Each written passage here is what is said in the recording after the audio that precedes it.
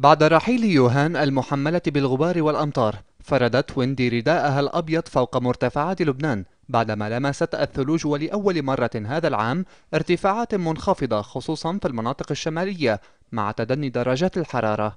في الضنية تساقطت الثلوج على ارتفاع ما دون ال 400 متر فمنعت بعض الجرافات من فتح الطرقات لكنها سمحت لبعض المواطنين بالخروج إما للهو أو لتجديد تموين مواد التدفئة والغذاء.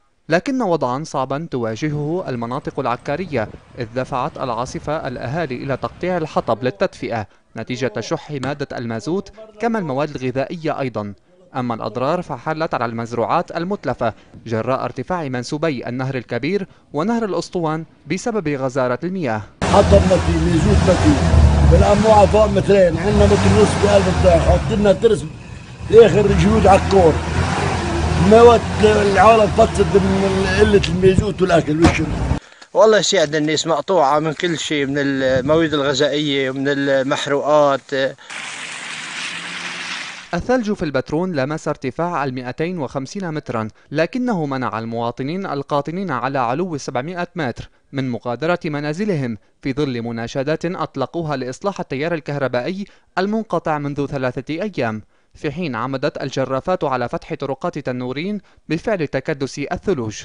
سهل البقاع الملون هكذا أضحى ناصعا بعدما تراوحت سماكة الثلوج بين 20 سنتيمترا و50 غطت بموجبها قلعة بعلبك الصامدة في حين يبقى واقع العاصفة قويا على قضاء راشية كبلدة خربة روحة التي أصبحت خاوية الشوارع.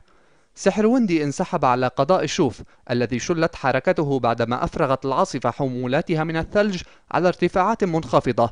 قاطعة طرقات إقليم الخروب ما ترك مساحة للمواطنين للعب بالثلج أمام منازلهم.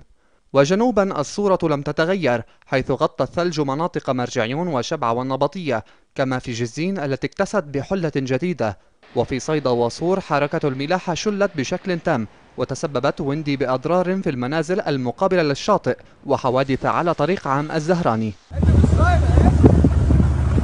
البعض لم ينتظر رحيل ويندي فخرج يسابق السيارات على أوتوستراد علي متزلجا والبعض الآخر استمتع بمشهد حبات البرد التي اكتسحت شوارع بيروت في مشهد لا يتكرر دائما.